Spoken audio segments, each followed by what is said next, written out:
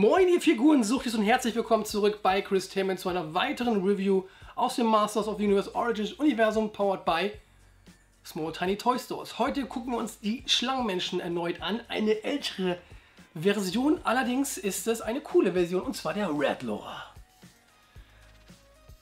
Redlore mit einer kleinen Änderung im Vergleich zur Vintage-Figur, aber das sehen wir uns ja gleich im Video nochmal genau an.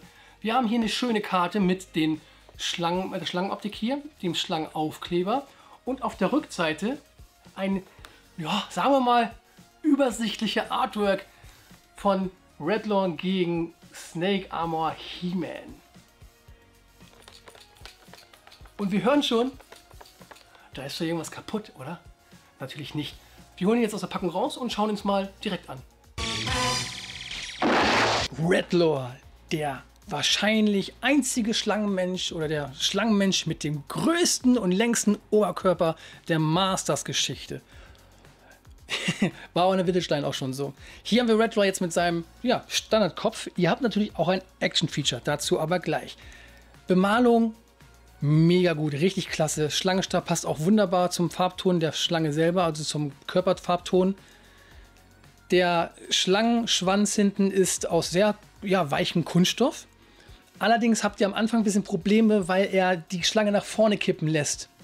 Je nachdem, wie ihr ihn posen möchtet. Da müsst ihr ein bisschen mit tricksen, weil er doch ein bisschen Gegendruck ausübt. Aber ihr habt natürlich auch noch ein Action-Feature dabei, wo man nichts umbauen muss. Und zwar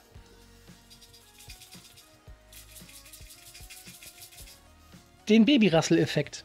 Das zweite Action-Feature ist sein verlängerter Kopf, wie auch in der Vintage-Variante. Nur, dass ihr hier keinen Knopfdruckmechanismus habt, also kein Federmechanismus, der diesen Kopf auslöst, sondern einfach nur ein Aufsteckstück, genau wie beim Mechanic. Ja, immerhin ist es dabei. Also da können wir schon mal ne, von Glück reden, dass sie das so gemacht haben. Eine sehr schöne Figur. Mir gefällt die richtig gut. Ist sehr stark an, äh, dran an der Vintage-Figur und das Klappern haben sie mit reingebracht. Das ist schon mal super. Da haben wir Redlore. Um die Snake Man weiter zu verstärken. Die haben ja noch nicht genug Leute, ne? Ich mag die Lösung mit diesem Schlangenhals halt nicht so gerne. Ich bin halt der Fan der Action-Features. Und daher muss ich sagen, da finde ich doch schon den alten Gesellen cooler. Zack, fertig. Unfertig. Fertig. Könnte ich den ganzen Tag machen. Allerdings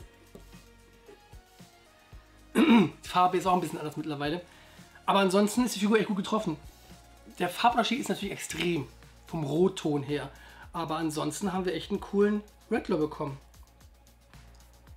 Und was Feature ist auch noch da. Hat eigentlich jemand schon mal das Ding aufgemacht und geguckt, was drin ist? Ich mache den jetzt nicht kaputt. Aber welches findet ihr denn cooler? Oder das ist ein bisschen, das klingt so ein bisschen hohler irgendwie. Aber ich freue mich, dass diese Figur endlich rausgekommen ist und dass das Action-Feature teilweise umgesetzt wurde. Das, Ratteln, das Rasseln zum Beispiel, oder immerhin, haben sie beibehalten.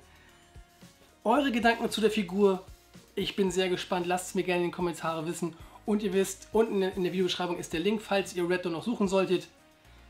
Da kriegt ihr ihn auf jeden Fall. Ich danke fürs Zugucken. Wir sehen uns im nächsten Video wieder. Bis dann, entspanntes Tschüssikowski und Stay Nerdy. Ihr Figuren sucht dies.